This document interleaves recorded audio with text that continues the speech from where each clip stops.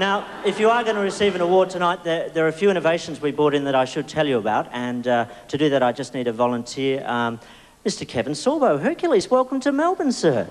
It's good to be here. Thank you very much. Well, thanks. What brings you to Melbourne? Well, that's, uh, I'm, I'm just real honored to be here. I, I, am impressed with everything going on. I'm impressed with everybody's dressed up. I just didn't realize Planet Hollywood was this formal. Yes, yes, this is, this is what we call the Logies. Now, if you don't know what Logies stands for, L-O-G-I-E-S, it stands for lots of grasping, insecure entertainers. You got it? okay.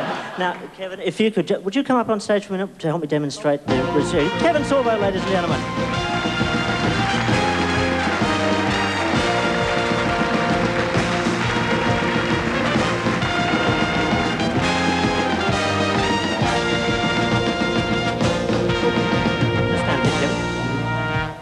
One of us is on steroids, and it's me shrinking steroids. Never work with a very tall man. Now, uh, Kevin, uh, I know that, uh, well, all of us know, we've been to awards nights, and we know that uh, sometimes speeches, well, they're a little undercooked. They don't work out quite as planned. Here's an example of one from a few years ago. Uh, so, yeah, where is it? Gee. Oh, this is, wow, this has turned everything around now. Um, yeah, I'd, I'd got some very important people I'd like to thank. This is, it's silver. Check it out. Um, yes. Samazans do have them, as we say in the trade.